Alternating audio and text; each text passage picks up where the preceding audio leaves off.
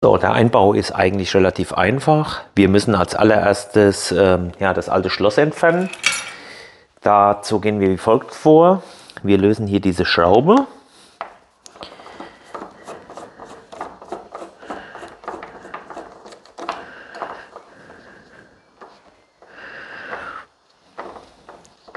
Na komm.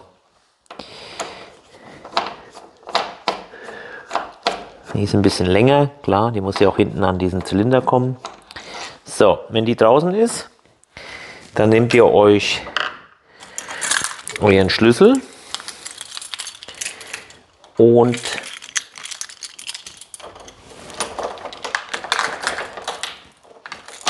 stellt den so, jetzt muss ich gucken, wie es ist, man muss glaube zuschließen, sowas.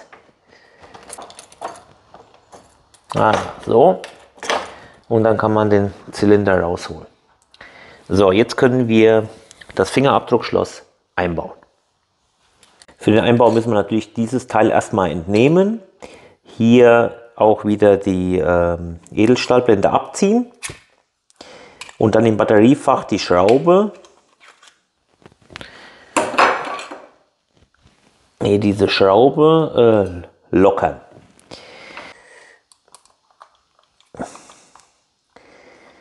So, diese müssen wir hier lockern auch, damit ich hier auch meine Weite einstellen kann. Also so sieht das Ganze jetzt aus.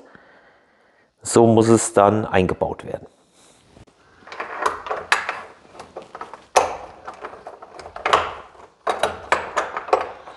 So, nachdem ich das Schloss eingeführt habe, ähm, nehme ich mir wieder den Schraubenzieher. Na, wo habe ich jetzt meine Schraube? Und suche jetzt hier natürlich ähm, das Loch, um das Schloss festzuschrauben. Und hier ist es.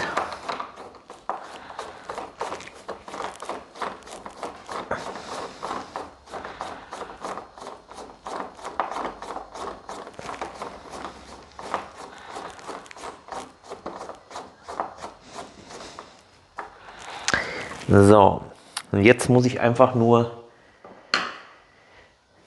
meine beiden Hälften wieder auf Maß bringen. Das heißt, hier in dem Fall schiebe ich das vor, drehe es auf meine Schraube hier, also meine Innensechskantschraube und arretiere die.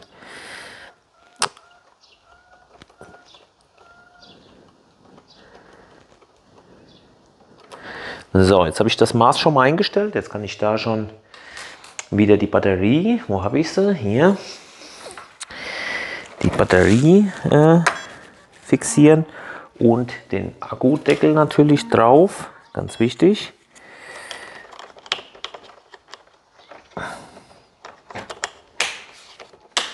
So, und dann zu guter Letzt den Edelstahl drüber und die Madenschraube wieder verschrauben. Dann sind wir hier schon mal fertig. Dann gehen wir hier auf die Innenseite und befestigen hier unseren Knauf, ja, den wir dann auch durchstecken bis an die Tür ran und dann auch hier die Madenschraube verschrauben. So, okay. Jetzt ist er fest.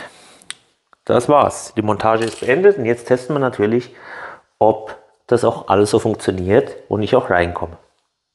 So, ich drücke, lege meinen Finger drauf. Er erkennt und ich kann meine Tür aufsperren. Ja, so funktioniert das Vlog-System. Ich hoffe, ich konnte euch da ein bisschen helfen, um eine einfache Installation äh, ja, zu bekommen. Und ich würde mich freuen natürlich, wenn euch das Video gefallen hat. Daumen hoch wie immer und abonniert mich. Macht's gut. Tschüss.